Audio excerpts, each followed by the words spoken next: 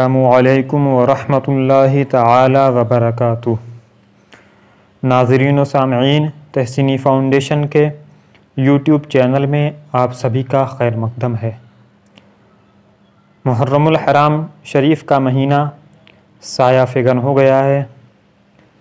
ये महीना हमें क़ुरबानी का दर्स देता है। इस महीने के, की दस तारीख़ को नवास रसूल, जिगर गोश बतूल। हज़रत सैदना इमाम हुसैन रदी अल्लाह तु ने अपनी और अपने बहत्तर जानसार रफ़ा रिदवान तजमैन की क़ुरबानी पेश करके दीन इस्लाम के चमन को सरसब्ज़ शादाब किया। उन्हीं के वाक़ात यानी करबला की अज़ीम जंग के वाक़ात को हम आज से लेकर के मुहर्रम की दस तारीख़ तक बयान करेंगे। इन रोज़ एक बयान आप तक पहुँचेगा।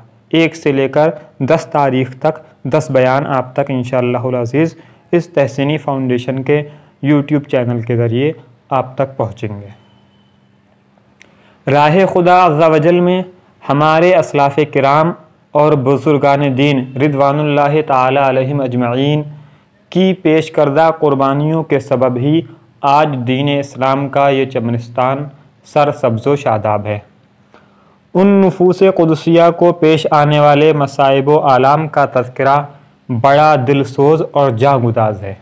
यानी बहुत ही ज़्यादा दिल को तकलीफ़ देने वाला और दिल को रंजीदा करने वाले इन लोग वाक़ात हैं जो कि हमारे असराफ़ कराम ने दीन इस्लाम की खातिर बर्दाश्त किए।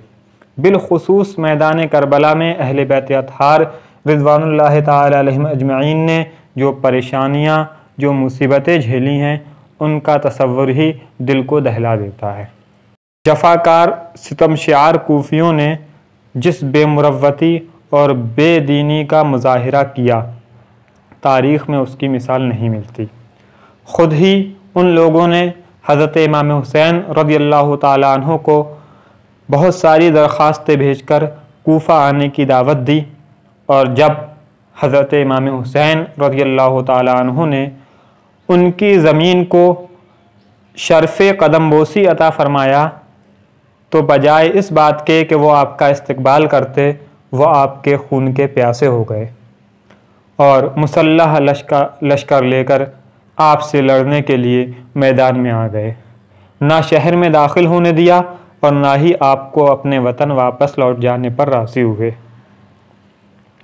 हुसैनी काफ़िले को रेगज़ार करबला में इकामत पजीर होना पड़ा और दिल के गंदों ने फ़रात का पानी भी ख़ानदान रिसालत पर बंद कर दिया।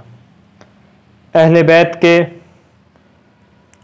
बच्चे तिश्ना लब एक एक कतरे के लिए तड़प रहे थे। छोटे छोटे बच्चे, बापरदा बीवियाँ, सब भूख प्यास से बेताब और नातवा हो गए थे। तेज़ धूप, गर्म रेत, गर्म हवाएँ और ऊपर से बेवतनी का एहसास। इधर बाईस हज़ार का लश्कर जंग के लिए तैयार और अपने, अपना हुनर आजमाने का तलबगार है। मगर भूख और प्यास की शिद्दत के बावजूद फ़र्जिंदान आल रसूल सल्लल्लाहु अलैहि वसल्लम व रिदवान तजमैन ने ऐसी बहादुरी और जवा मर्दी का मुजाहरा किया कि दुश्मन अंगुश्त बदंदा रह गए। कई कई यजीदियों को हलाक करने के बाद हज़रत इमाम हुसैन रज़ी अल्लाह तु के ख़ानदान के नौनहाल दाद शुजात देते एक के बाद एक शहादत से सरफराज होते गए। अज़ीज़ अकारिब, दोस्त अहबाब सबने वफ़ा का हक अदा करके हज़रत इमाम हुसैन रज़ी अल्लाह तु पर अपनी जानें फ़िदा कर दी। और अब सैद अम्बिया नबी अकरम सल्लल्लाहु अलैहि वसल्लम का नूर नज़र, हज़रत फ़ातिमा जहरा रज़ी अल्लाह तह का लख्त जिगर, बेकसी और भूख प्यास की हालत में आलो असहाब की जुदाई का ज़ख़म दिल पर लिए हुए तलवार लेकर मैदान में आ जाता है।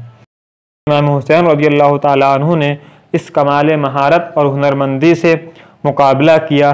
दुश्मनों के बड़े बड़े नामवर बहादुर को मार गिराया और नाशों के अंबर लगा दिए। कोफा की नामवर जमातें एक हिजाजी जवान के हाथ से जाँच ना, जान ना बचा सकीं। आखिरकार तीर अंदाज़ों की जमातें हर तरफ़ से, जमातों ने हर तरफ़ से आपको घेर लिया। और हज़रत इमाम हुसैन रदी अल्लाह तु को घेर कर तीर बरसाने शुरू कर दिए।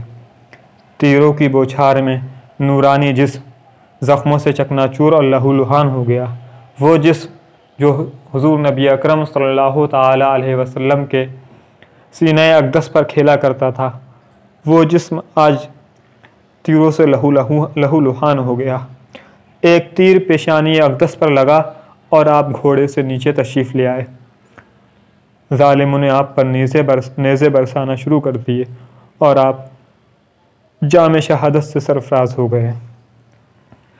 इस जुल्म सितम के मार्के में अगर रुस्तम भी होता तो उसके हौसले भी पस्त हो जाते और वो अपना सर दुश्मन के आगे झुका देता। मगर फ़र्जंद रसूल सल्लल्लाहु अलैहि वसल्लम को मसाइब का हजूम अपनी जगह से ना हटा सका। और उनके सब्र और उनके इस्तकलाल में फ़र्क ना आया। हक़ व सदाकत का हामी मुसीबतों की भयानक घटाओं से नहीं डरा और तूफ़ान बला के, के सैलाब से उसके पाए सिबात में ज़रा सी भी जुम्बिश ना आई। राह हक में पहुँचने वाली खुश तमाम मुसीबतों का हज़रत इमाम हुसैन रदी अल्लाह तु ने खुश दिली से खैर मकदम किया। अपना घर लुटाना और अपना खून बहाना मंजूर किया। मगर इस्लाम की इज़्ज़त में फ़र्क आना बर्दाश्त नहीं किया। सर और तन को खाक में मिलाकर अपने जद्द करीम सल्लल्लाहु अलैहि वसल्लम के दीन की हक्कानियत की अमली शहादत पेश की और रेगिस्तान कोफा के वर्क पर, सिद्को अमानत पर जान कुर्बान करके नकोश सब्त फरमाए और इस्लाम के चमनिस्तान को सरसब्ज शादाबी अता फरमाई।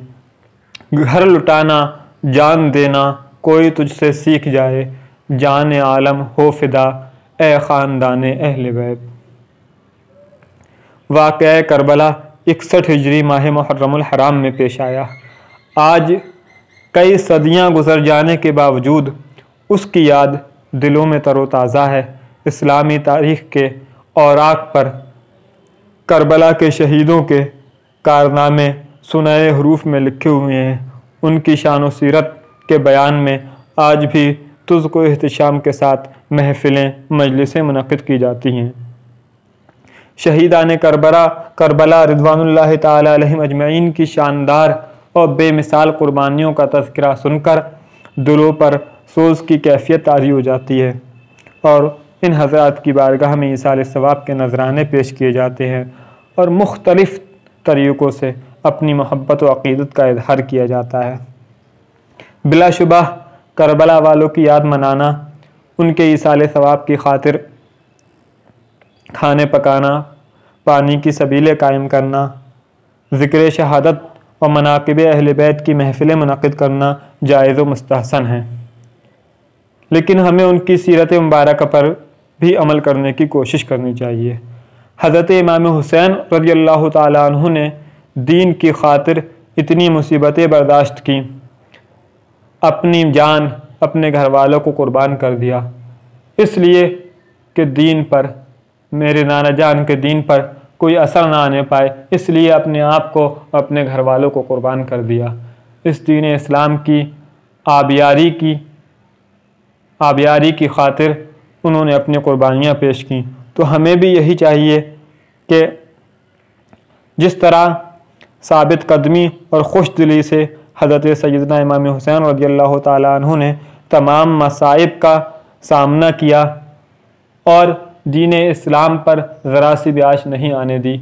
आज हमें चाहिए कि हम उसी दीन इस्लाम के अहकाम की इज़्ज़त करें और उन दीन अहकाम पर अमल करने की कोशिश करें।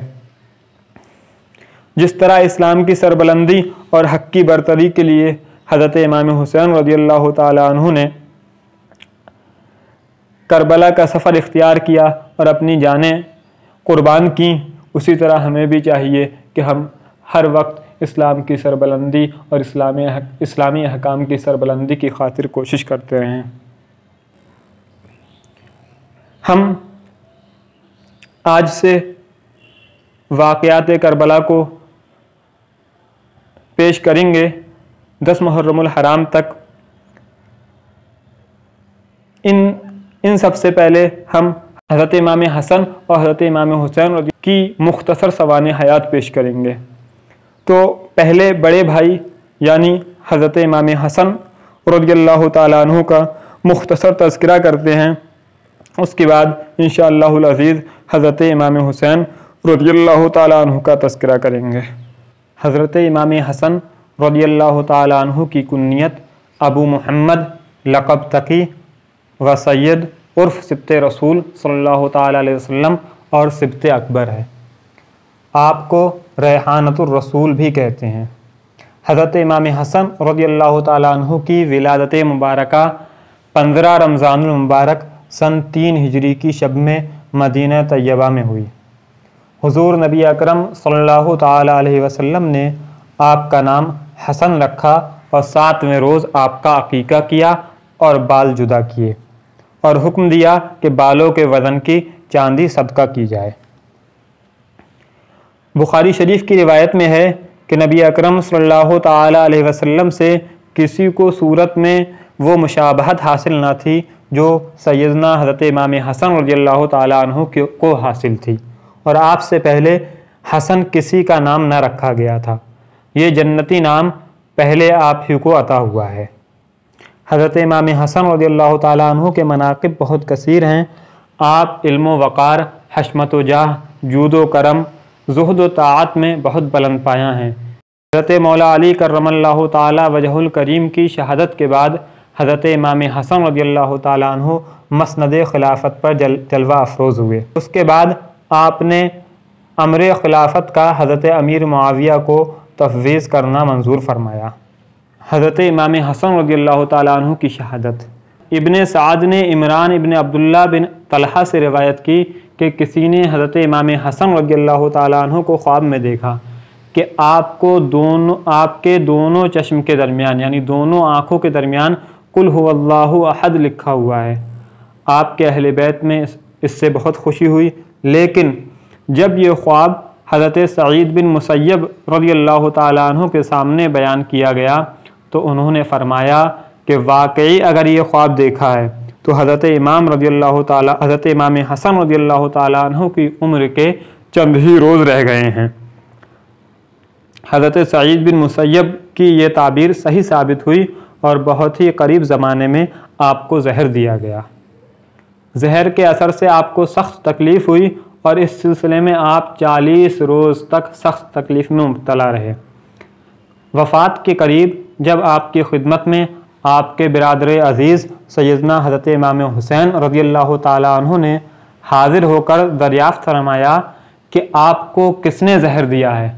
तो फरमाया कि तुम उसे कत्ल करोगे। हज़रत इमाम हुसैन रज़ी अल्लाह तु ने जवाब दिया कि बेशक। हज़रत इमाम हसन रज़ी तु ने फरमाया कि मेरा गुमान जिसकी तरफ़ है, अगर दर हकीकत वही कातिल है तो अल्लाह ताला मुंतकम हकीकी है और उसकी गिरफ्त बहुत सख्त है। और अगर वो नहीं है तो मैं नहीं चाहता कि मेरे सबब से कोई बेगुनाह मुबतलाए मुसीबत हो। यानी हज़रत इमाम हसन ने फरमाया कि अगर मैं जिससे समझता हूँ अगर वही है तो अल्लाह ताला हकीकी बदला लेने वाला है। अल्लाह ताला की गिरफ्त से वो नहीं बच सकता। और अगर वो नहीं है तो मैं मैं नहीं चाहता कि मेरे सबब से कोई बेगुनाह मुबतलाए मुसीबत हो। मुझे इससे पहले भी कई मरतबा जहर दिया गया है, लेकिन इस मरतबा का जहर सबसे ज़्यादा तेज़ है। इस वक्त आपकी उम्र शरीफ 45 साल 45 साल छः माह, चंद दिन की थी। आपने पाँचवीं रबी रबीउल अव्वल शरीफ सन उनचास हिजरी को इस दुनिया से रहलत फरमाई, इन्ना व इन्ना राजिऊन। वफ़ात के करीब हज़रत इमाम हुसैन रज़ी अल्लाह तु ने देखा कि उनके बिरदर मोहतरम हज़रत इमाम हसन रज़ी अल्लाह तु को घबराहट और बेकरारी ज़्यादा है और आपकी पेशानी मुबारक पर हुसन मलाल के आसार नमदार हैं। ये देखकर हज़रत इमाम हुसैन रज़ी अल्लाह तु ने आपके दिल को तस्कीन देने के लिए अर्ज़ किया कि, ए बिरादर गिरामी, आप क्यों रंजीदा हैं? बेकरारी का क्या सबब है? मुबारक हो आपको अनकरीब हुजूर पुरनूर सैद आलम सल्लल्लाहु अलैहि की खिदमत में बारियाबी हासिल होगी। और हज़रत अली मुर्तदा और हज़रत खदीजतुल्कुबरा और हज़रत फ़ातमतुज़हरा और हज़रत कासिम ताहिर और हज़रत हमज़ा व जाफ़र रज़ी अल्लाह तुम का दीदार नसीब होगा। हज़रत इमाम हसन रज़ी अल्लाह तु ने फरमाया कि अय बिरादर अज़ीज़, मैं कुछ ऐसे अमर में दाखिल होने वाला हूँ जिसकी मिसल अब तक दाखिल नहीं हुआ था। और खल लाही अज्जा वजल में से ऐसी खल्क को देखता हूँ जिसकी मिसल मैंने कभी नहीं देखी। और इसके साथ ही आपने हज़रत इमाम हुसैन रज़ी अल्लाह तु के पेश आने वाले वाक़ात और कोफियों की बदसलूकी और ईज़ा रसानी का भी तस्करा हुआ। इस इरशाद मुबारक से मालूम होता है कि उस वक्त आपकी नज़र के सामने करबला का हौलनाक मंज़र और हज़रत इमाम हुसैन रदी अल्लाह तु की तन्हाई का नक्शा पेश था और कोफियों के मजालिम की तस्वीरें आपको गमगीन कर रही थीं। इसके साथ आपने ये भी फरमाया कि मैंने उम्मुलमुमिन हज़रत आयशा सिद्दीक़ा रदी अल्लाह तह से दरख्वास्त की थी कि मुझे रोज़ा ताहिरा में दफन की जगह इनायत हो जाए। उन्होंने इसको मंजूर फरमाया, मेरी वफ़ात के बाद उनकी खिदमत में अर्ज़ किया जाए, लेकिन मैं गुमान करता हूँ कि कौम माने होगी, यानी कौम रोकेगी इस बात से। अगर वो ऐसा करें तो उनसे तकरार ना करना। यानी अगर कौम जो है मुझे वहाँ पर दफन होने से रोके तो तुम उनसे तकरार मत करना। हज़रत इमाम हसन रदी अल्लाह तु की वफ़ात के बाद हज़रत इमाम हुसैन रदी अल्लाह तु ने वसीयत के मुताबिक हज़रत अम्मुलमिन आयशा सिद्दीक़ा रदी अल्लाह तह से दरख्वास्त की। आपने उसको कबूल फरमाया और इरशा, और इरशाद फरमाया कि बड़ी इज़्ज़त करामत के साथ मंजूर है। लेकिन इस मामले में मरवान माने हुआ और नौबत यहाँ तक पहुँच गई कि हज़रत इमाम हुसैन रज़ी अल्लाह तु और उनके हमराई हथियार बंद हो गए। हज़रत अबू हुरैरा हुरल्ला तु ने उन्हें भाई की वसीयत याद दिलाकर वापस किया और ये फ़र्जंद रसूल जिगर गोश बतूल यानी हज़रत इमाम हसन रज़ी अल्लाह तु जन्नतुलबकी शरीफ में अपनी वालदा मोहतरमा हज़रत ख़ातून जन्नत हज़रत फ़ातमत ज़हरा रज़ी अल्लाह तह के पहलू में दफन हुए।